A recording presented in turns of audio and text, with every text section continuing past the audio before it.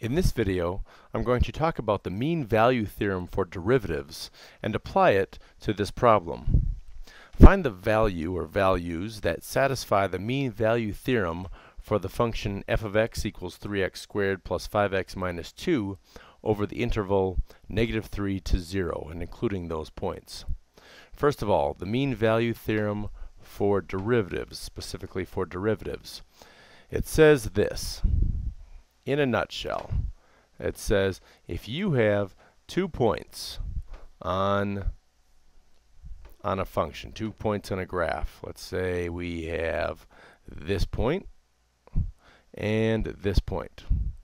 And I'm going to say the x-coordinate of this point is A and the x-coordinate of the next point is B. Now, we will have some um, value f of a, if I evaluate that, this would be, this point over here would be f of a. It's some value. It's the function evaluated at a. And over here, we have some value f of b. All right, that's just a, an algebraic way of saying the, the y coordinates. Right? So the function evaluated at a, at a and b. Now, we can draw a secant line through those points and there will be some slope.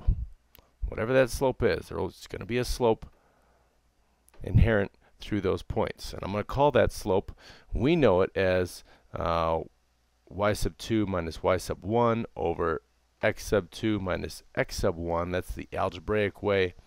When we get into calculus this is still algebra but we we write f of b minus f of a, and that's just how you're going to see it in calculus books, over b minus a. It means exactly the same thing. The, the difference of the y points or y coordinates minus or divided by the difference of the x coordinates.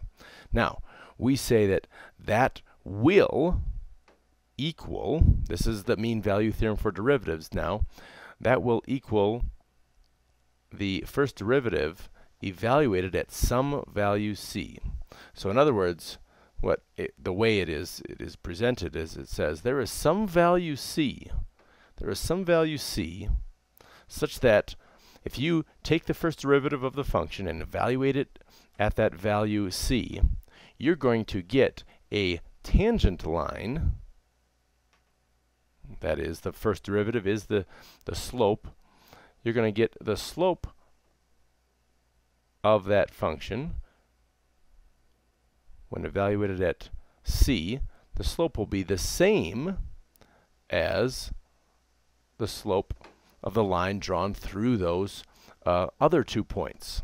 That's what this says, okay? So we draw a secant line between these two points, and all the mean value theorem says is that there's some point along this graph such that the tangent line has the same exact slope as that secant line, that line that we drew through the initial two points.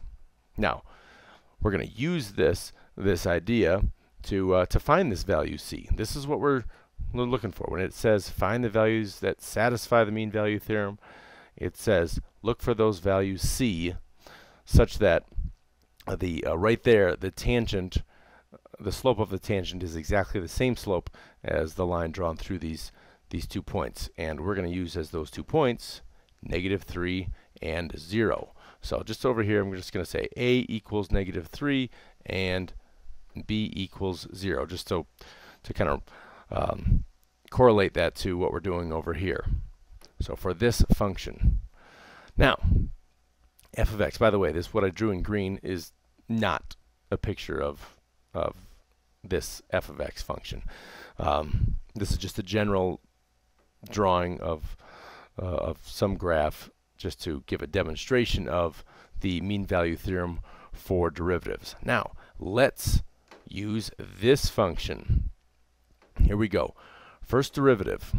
First, let's evaluate f of negative 3 equals 3 times negative 3 quantity squared plus 5 times negative 3 minus 2 and We do the math on that, simplify that, and that equals 10. That's f of a. f of b, f of 0. Ah, that's an easy one.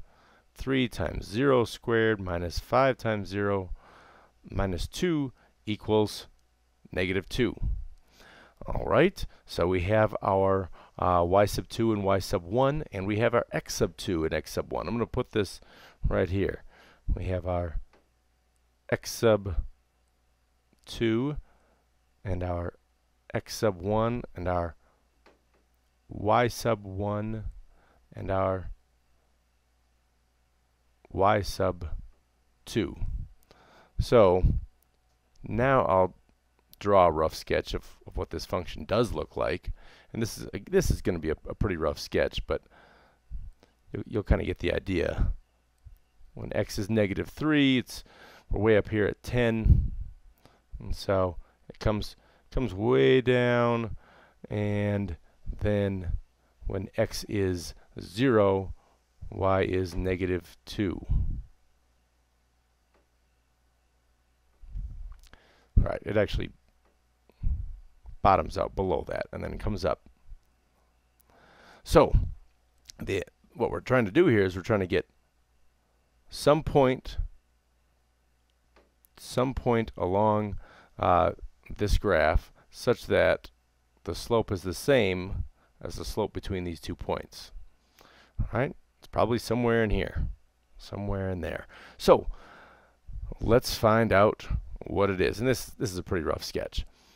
So we're going to take the first derivative. Actually, first let's, let's find the slope. So we'll say negative 2, that's y sub 2, minus 10. I'm doing this part now. Negative 2 minus 10 over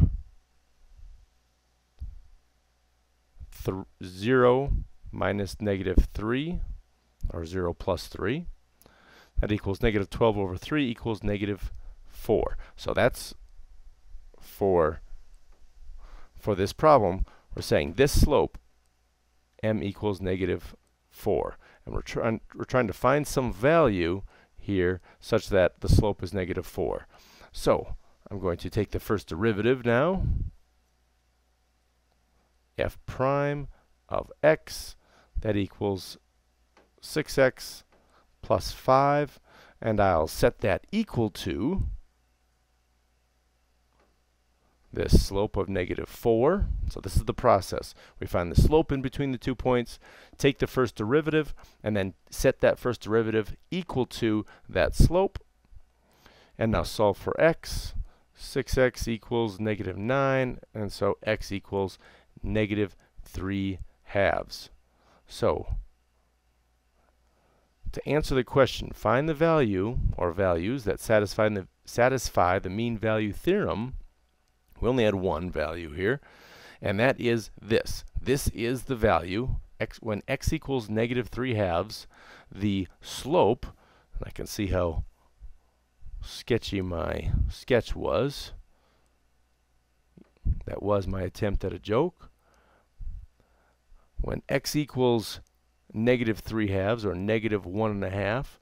Our slope, our the tangent, the slope of the tangent would be exactly the same as the slope of the line drawn between um, those two points that we named. So there we have it, using the mean value theorem.